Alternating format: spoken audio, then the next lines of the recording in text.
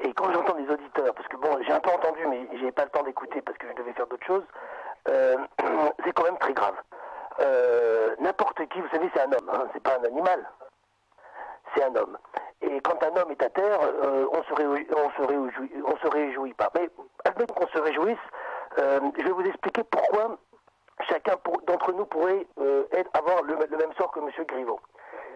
Alors, je vais vous expliquer. Euh, sur cette terre, il n'y a pas d'homme exemplaire. Ça n'existe pas. Euh, sinon, on, vit sur la planète Mars. Il n'y a pas d'homme exemplaire. Donc, par conséquent, chaque homme, il a des défauts.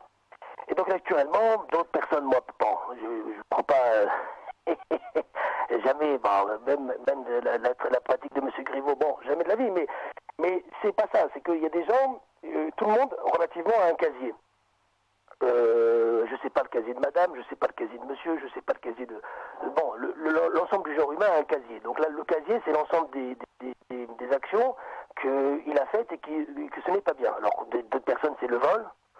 Euh, je sais pas, dans sa jeunesse, euh, il a volé, un, disons, une pomme, je sais pas. Bon, admettons, admettons, il a par exemple pas déclaré un emploi, je sais pas, admettons. Euh, admettons qu'il a, euh, par exemple, fait un acte répréhensible. Euh, bon, euh, qu'il a été condamné dans sa jeunesse, je sais pas moi, euh, qu'il a fait un acte de délinquance, ou comme certains reprochaient à M. Castaner d'avoir dans sa jeunesse fait du poker. Donc ce qui se passe aujourd'hui, ce qui se passe aujourd'hui, c'est très grave, parce que parce que l'homme ne peut plus reconnaître ses fautes. Donc ça veut dire que comme comme vous avez fait une action par le passé, donc vous êtes forcément coupable, et donc forcément vous êtes quelqu'un de mauvais. Mais attendez, mais qui, qui, euh, qui, d'abord, première, pre- alors, j'ai- deux, deux éléments à dire. D'abord, qui vous dit que la personne n'a pas regretté ce qu'elle a fait? Premièrement. Et deuxièmement, peut-être qu'elle a euh, dédommagé monétairement la personne à qui elle a envoyé euh, la vidéo. Enfin, là, en, en l'occurrence, c'était ça. Donc je crois, moi, et on l'a vu récemment parce que je suivais l'affaire de l'affaire WPP. Alors je ne sais pas si les auditeurs savent ce qui s'est passé chez WPP. C'était le président de WPP qui euh, dirigeait cette agence de publicité et qui était avec une femme. Bon, alors, euh, de légère... ah. Je peux continuer. Donc il était avec une femme de légère vie. Et donc, euh, il a été démis de ses fonctions à la tête la très grande agence de WPP, c'est Ma- Martin Sorel. Donc, ce qui se passe, c'est quoi? Euh, Là aussi, pourquoi? Parce qu'il y avait quelqu'un qui l'avait filmé avec un iPhone. Euh, bon, avec une femme, euh, je crois que c'était pas sa femme, c'était un adultère. Bon, mais c'est très grave. Parce qu'aujourd'hui, tout se filme, tout se met, et justement, le droit à l'erreur et le droit à se tromper n'est plus possible. Et donc, ce qui se passe, c'est qu'on va avoir, et donc là, je le prédis, pour toutes ces décennies. Mais là, ça, ça commence. Hein. Moi, je pense que M. Griveaux, c'est le début. Et ça va continuer. Et ça va continuer même avec une intensité beaucoup plus grande. Et ça va être très dangereux pour le monde entier. Mais bon, euh, pour le monde. hein. Ça veut dire que ça va continuer. Et donc, ça veut dire qu'au fur et à mesure des années, euh, il va y avoir des condamnations. Ça veut dire qu'il va y avoir des photos qui vont sortir. euh, je sais pas, demain, ce sera sûrement sur M. Macron. euh, demain, ce sera sur Mme Buzyn. Mais une autre personne. Et donc ça va faire en sorte que la politique va vraiment se ringardiser, va devenir vraiment un sport vulgaire. Et donc finalement, ce sera un peu comme euh, une mafia, quoi. Ça veut dire en gros, en gros, euh, j'ai un dossier contre toi, tu me fais ce que tu dois me faire. C'est-à-dire bon, alors tu veux pas faire entre guillemets le programme euh, que je veux que tu fasses, ben je vais sortir des affaires sur toi. Et donc ça va devenir vraiment quelque chose de nocif de très nocif. Et donc finalement, moi, donc là, je prédis, hein, je un effondrement de tous les pays entre guillemets occidentaux, parce que ça va être très grave. Ça veut dire que tous les hommes politiques vont tomber au fur et à mesure des affaires qu'on va leur sortir dessus, et euh, ça va être véritablement euh, catastrophique jusqu'à ce que euh, véritablement toutes les démocraties s'effondrent au fur et à mesure. Donc c'est non seulement, donc non seulement c'est le personnel politique qui va être visé au fur et à mesure, mais c'est également l'ensemble des démocraties qui va être visé, et euh, naturellement avec une crise euh, économique qui va pouvoir surgir et avec un effondrement de toutes les valeurs qui existent et jusqu'à un beau jour où, euh, où les choses s'amélioreront. Voilà. Mais en tout cas, en tout cas, je prédis pour les 10-15 dernières les prochaines années que ça va être gravissime. Ça va être très très grave et que chacun va essayer justement de faire ça. Donc finalement, on est, on est en politique, on est en stratège, euh, en tout cas dans cette radio, et donc on doit essayer d'analyser qui, qui c'est qui va gagner. Et ben, il faut le dire une fois de plus, ce sont les milliardaires et les directeurs de médias, des médias sociaux et des médias en général, qui vont faire chanter les politiques au fur et à mesure et qui vont leur dire voilà écoutez si vous faites pas ça bah, je vais vous sortir ça si vous faites pas ça je vais vous sortir ça. Et donc ça va être des hommes politiques qui vont être dictés même si c'est le cas aujourd'hui mais ça va être encore plus le cas qui vont être dictés au grand président de, de, radio, de télévision, et donc ça va être comme ça que ça va se passer pour les prochaines années. C'est-à-dire qu'on va avoir des hommes politiques de moins en moins indépendants, de plus en plus soumis aux médias, et euh, des hommes politiques euh, qui auront, parce qu'ils ont tous euh, des, affaires très, très, très graves sur eux, pas c'est Griveaux, mais ce sera d'autres, il y a Macron, il y a tout le monde. Hein. Euh, tout le monde a un dossier très, très épais sur soi, et donc naturellement, ça va être une, une hécatombe avec euh, naturellement euh, qui vont se réjouir. Au fond, ce sera les personnes qui dirigent les médias, qui dirigent la vie politique, et donc ça va être un transfert de pouvoir de la politique vers les centres des médias, etc. Voilà. C'est ça un peu, parce que si on essaye d'analyser, parce que bon, il ne faut pas analyser à, à, à chaud, il ne faut pas dire voilà qu'est-ce qu'il a fait, voilà pas qu'est-ce qu'il a fait. Il faut essayer un peu de prendre de, de, la hauteur et je pense clairement que ça va être comme ça que ça va se passer durant les prochaines années. Voilà. C'est-à-dire, Bruno, euh, au sujet de cet euh, scandale, qu'est-ce ouais. que tu en penses? Ça va toucher euh, les Écoutez, élections ou non? Moi, j'ai écouté une analyse qui était d'ailleurs assez pertinente. Euh, quand Ma M. Macron a réagi à cette affaire, il a mis en cause M. Poutine. Donc par conséquent, euh, je crois que c'est le début. Voilà, ça va continuer. Donc euh, je ne sais pas, mais ça, ça, ça, ça, augure pour les prochaines élections euh, un beau bain. ça veut dire quoi? Ça veut dire que je pense que M. Macron a aussi des photos de lui. Euh, je pense qu'il y a d'autres politiques qui ont aussi des photos d'eux, et ça va être, à mon avis, très grave, puisque ça va être l'ensemble du personnel politique qui va être mis à la corbeille, comme disait De Gaulle. Voilà. C'est grave alors, ça va être tellement grave. Ça va, ça va être grave, mais ça va être au fur et à mesure des années. Ça veut dire, je pense, je pense qu'on va continuer entre guillemets sur ce système-là, avec euh, l'ensemble des hommes politiques qui auront justement un casier sur eux. Euh, là, je vous ai dit, hein, là, ce sera le vol, l'autre ce sera euh, les femmes, etc. Et donc finalement, au fur et à mesure, ce sera euh, les, grands médias plus les grands médias sociaux qui auront chacun un casier à faire valoir et qui pourront faire ce qu'ils veulent. Voilà. Mais là, véritablement, ça a été mal fait hein, pour M. Griveaux. si je peux me permettre. sur l'affaire de M. Griveaux, ça a été mal fait. Euh, ça a été mal fait pour deux raisons. Une raison, c'est qu'il a sorti l'affaire trop rapidement et entre guillemets que ça aurait pu, il aurait pu attendre un peu, il aurait pu, vous voyez. Donc finalement, ça a été, ça a été entre guillemets un job d'amateur. Mais je pense que euh, au fur et à mesure des années, euh, je pense que les amateurs vont se entre guillemets euh, voir et que aujourd'hui, il faut savoir une chose. Ça a été marqué, c'est très clair quand on parle des ingénieurs informatiques, c'est qu'aujourd'hui, l'ensemble de votre téléphone, donc l'ensemble des téléphones des, des personnes, il est à câble. Ça veut dire que toutes les photos que vous avez sur votre iPhone, tout ce que vous avez sur vos ordinateurs, il peut être euh, hacké par des euh, euh, hackers. Donc ça veut dire que l'ensemble de vos photos, l'ensemble de vos vidéos, l'ensemble de ce que vous postez, etc., peut être envoyé à des personnes qui sauront les utiliser pour faire du chantage, pour faire certaines choses, etc. Donc aujourd'hui, le problème, c'est deux choses.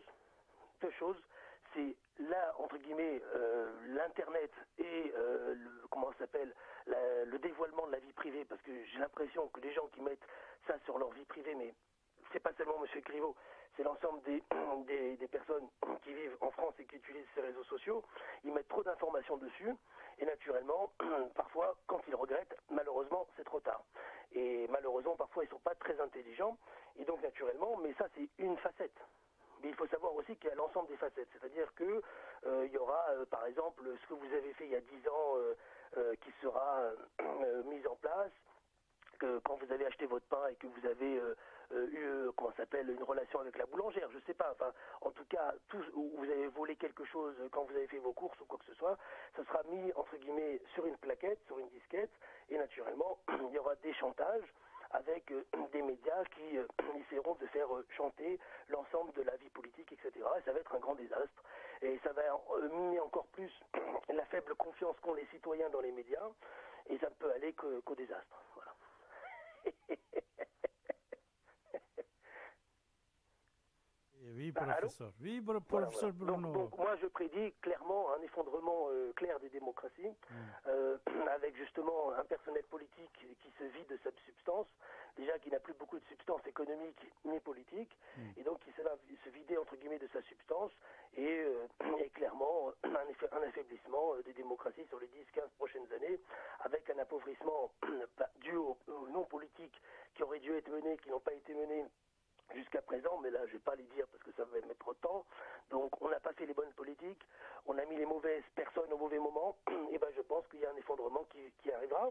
Donc il y a un effondrement qui arrivera entre guillemets simultané. C'est-à-dire qu'on aura à la fois un effondrement démocratique du système politique, à la fois un effondrement économique euh, euh, de l'ensemble du, système financier qui pourrait arriver, et à la fois euh, un système de valeurs qui est complètement remis en cause. Et ça entraînera naturellement une profonde défiance des gens. Et à partir de ce moment-là, les gens prendront confiance et là, ça pourra regermer un nouveau, un nouveau salut. Voilà. Mais en tout cas, c'est, je pense, ça peut durer encore comme ça pendant 15-20 ans, c'est-à-dire que ça doit bien s'effondrer pour ensuite bien repartir. Vous savez, c'est toujours comme ça, monsieur Abbassi. Il ne faut, pas perdre l'espoir. C'est qu'au plus profond de l'effondrement, survient le plus profond des saluts. Voilà. Et, ensuite, une fois que justement que les, gens verront que finalement le système c'est pas le bon, mais que finalement, que finalement, non seulement le système n'est pas le bon, mais que les personnes qui ont voté pour le système non plus ne sont pas forcément exemplaires. Parce que souvent, on, a tendance à dire les hommes politiques, euh, oui, ben, là, là c'est un peu ce que j'ai fait ce soir, mais c'était pas tellement l'objectif. C'est que souvent on dit, oui, euh, les hommes politiques, ce sont, euh, entre guillemets, des voleurs, des voyous, de la mafia, etc. Mais on s'aperçoit pas souvent que les mêmes, ce sont aussi euh, les électeurs qui ont euh, une grande part de responsabilité dans ce qu'ils ont fait. Et naturellement, les électeurs ne sont pas forcément aussi, aussi euh, exemplaires que les politiques. Donc ça veut dire que l'ensemble de la population est, entre guillemets, comme les politiques. Donc ça veut dire que ça veut dire qu'il y aura un effondrement bientôt.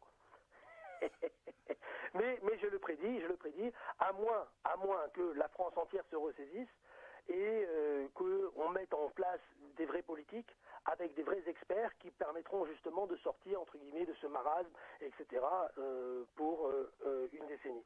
Ça nécessite plusieurs réformes, je vais en, en citer quelques-unes, et après je vais vous laisser.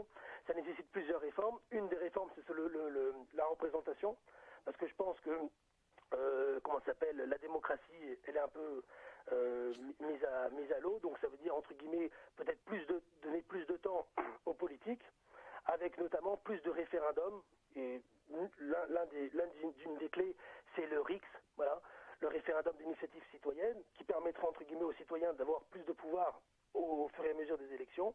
Et enfin, une profonde réforme des politiques économiques, c'est-à-dire que là, on vivote entre guillemets sur des politiques d'État-providence qui ont été mises en place depuis 30 ans.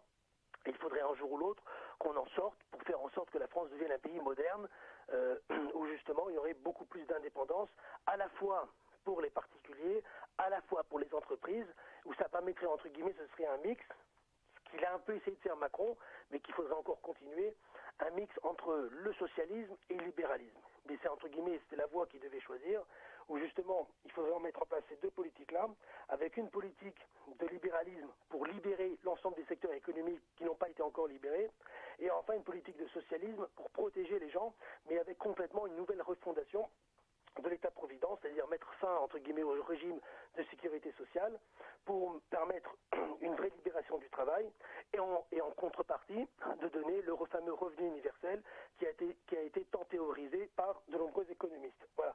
Donc ça veut dire de permettre à la fois une beaucoup plus grande libéralisation de la société sur de nombreux secteurs et à la fois donner une plus grande sécurité aux gens notamment à travers le revenu universel.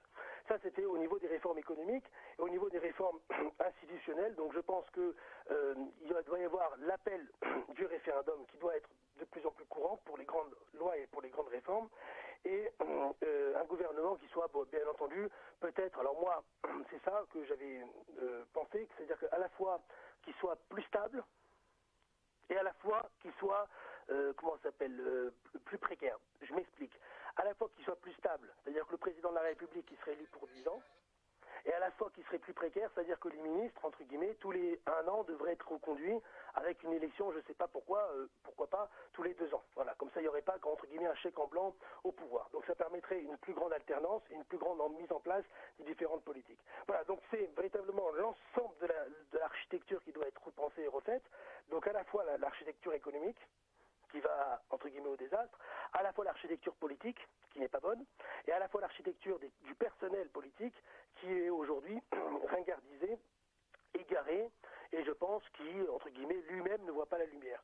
Donc c'est véritablement comme ça qu'on pourra s'en sortir. Donc je répète, réforme institutionnelle, avec à la fois une plus grande stabilité du système et une plus, une plus profonde précarité, donc notamment une élection tous les deux ans du gouvernement et avec un président élu pour dix ans, par exemple, avec une, profonde réflexion économique, c'est-à-dire à la fois un, ultralibéralisme socialiste, c'est-à-dire qu'à la fois on va libérer l'ensemble des secteurs qui méritent d'être libérés, et à la fois un revenu universel qui va permettre à chacun d'avoir une garantie de vie.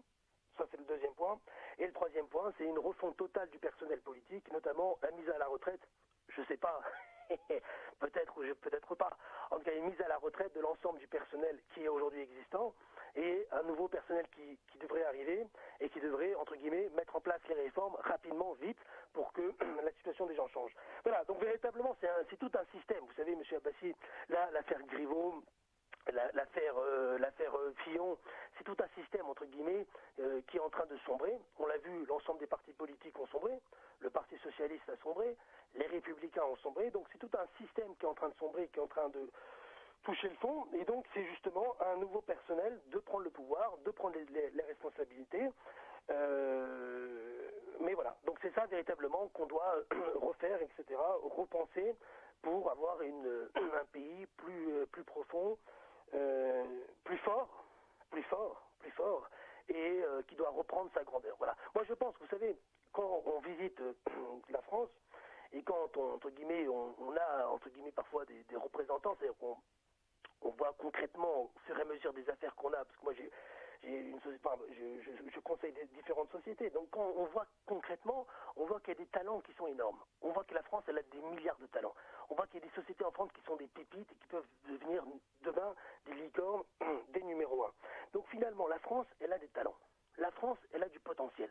La question qui se pose, et la question qui devra se poser pour la décennie qui, qui arrive, c'est que pourquoi le potentiel qu'il y a dans ce pays, il n'est pas mis à profusion? Je m'explique. Pourquoi l'ensemble des talents qui, arrivent en France n'arrivent pas, entre guillemets, à éclosion Voilà. C'est-à-dire qu'on a un potentiel qui est exceptionnel, exceptionnel, et qu'on a un réel qui est catastrophique. Alors la question qui se pose, c'est comment ça se fait que les gens, que les hommes politiques et l'ensemble des personnes qui décident dans ce pays n'ont pas réussi à faire en sorte que ce potentiel, qui est, qui est extraordinaire et qui est sans limite, il puisse être mis euh, euh, sur le concret, c'est-à-dire être mis dans le réel. Et ça, véritablement, c'est une faille et il faut y remédier. Voilà. Mais je pense que ça, va mettre un peu de temps, c'est-à-dire qu'entre guillemets le temps que l'ensemble du personnel politique euh, parte, et ça pourrait advenir, je le dis, hein, avec une personne entre guillemets qui sortirait des, des clous du système, qui permettrait de changer les choses et qui permettrait de changer les choses relativement vite dans 2, 3, 2, 3 ans, 4 ans, et qui permettrait d'aller très vite dans les réformes et qui permettrait entre guillemets de changer les choses véritablement. Voilà. Monsieur Abbassi. Merci Bruno. Bruno, à ton avis, le gouvernement va abandonner ce projet de retraite ou non? Écoutez, euh, ils ont mal expliqué la réforme, mais je pense que maintenant qu'ils sont tellement lancés dedans, s'ils font, entre guillemets, c'est-à-dire s'il fallait l'abandonner, c'était au départ. Vous savez, quand, quand il y a un conflit, euh, vous